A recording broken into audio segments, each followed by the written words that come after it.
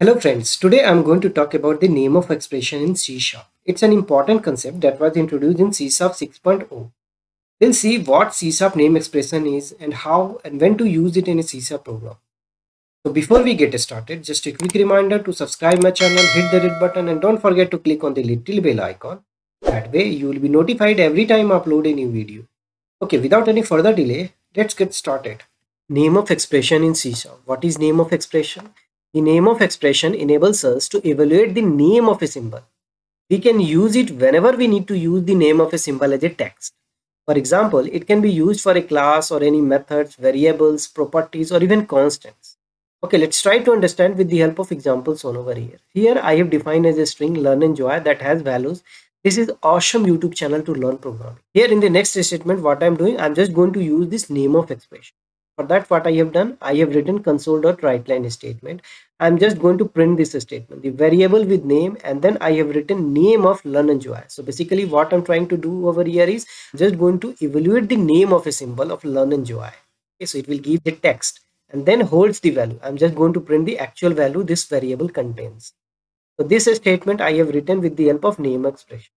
Without the name of expression, we could write something like this console.writeLine the variable with name and then I'm just going to print learn and joy as it is. And then holds the value and then here I'm just going to print the value what this learn and joy string variable contains. Okay so this statement is just going to return at the console window.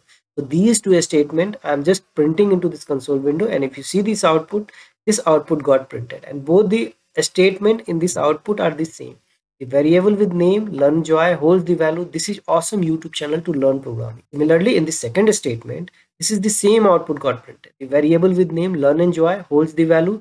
This is awesome YouTube channel to learn programming. So you have seen how we are going to use this name of expression. So you must be thinking why we are going with the name of expression, right? We can simply write this text over here and then we are ready to go, right?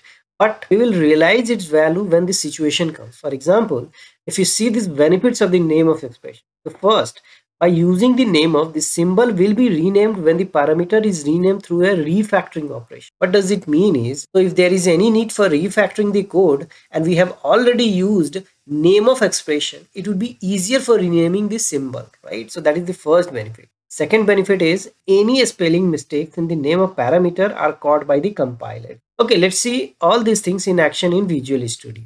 Here we are on Visual Studio. Here we are going to see the demo of the name of expression. For that what I have done, I have created one console application name of demo and it has program.cs file. In program.cs file, we have class name program that has main method which is an entry point of this application. Here what I'm doing, I'm just writing this statement that I just want to print into this console window because I'm just giving the demo of the name of expression. That's what I have written name of expression demo. So here what I have done, I have written one string variable learn and joy that has values. This is awesome YouTube channel to learn programming. Then I'm just going to use the, this name of expression. For that what I have done, I have written this console.writeLine statement. The variable with name, name of learn and joy. So here basically I'm just going to evaluate the name of a symbol of learn and joy, right? And then I'm just going to print the value, holds the value, learn and joy variable that is having the value that I'm just going to print into this console window.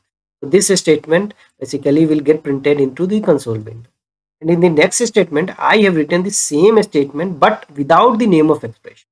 So here what I have done, I have written this console.writeLine, the variable with name and learn and joy. I have written directly a string name, holds the value and then learn and joy. The variables values I'm just going to print into this statement. So this is with name of expression and this one is without the name of expression. If you see here, I have written another console.writeLine statement. So here what I'm trying to do, I'm just going to use this name of expression for evaluating this symbol system.collection.arraylist. This is the class name, right? System.collection.arraylist. So array list belongs to the system.collection namespace, but I'm just going to print of the name of, of this symbol. So it is just going to print the array list. Okay. Okay, let me execute this program and show this output to you.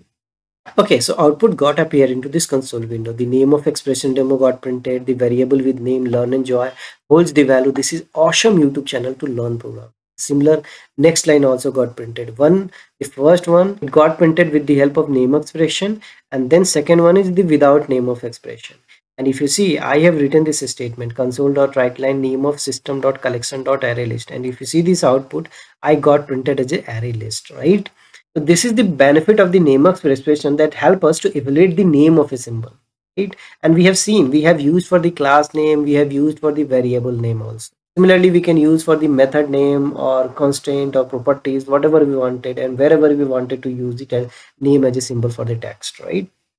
Okay now that brings me to end of my session. To sum up in this video we learned what name of expressions are in c sharp and how and when to use it in a c sharp program and finally we discuss the benefit associated with it that's all for this video guys if you like this video hit the like button share it with your friends and colleagues subscribe to my channel if you haven't done already Thanks for watching. See you next video.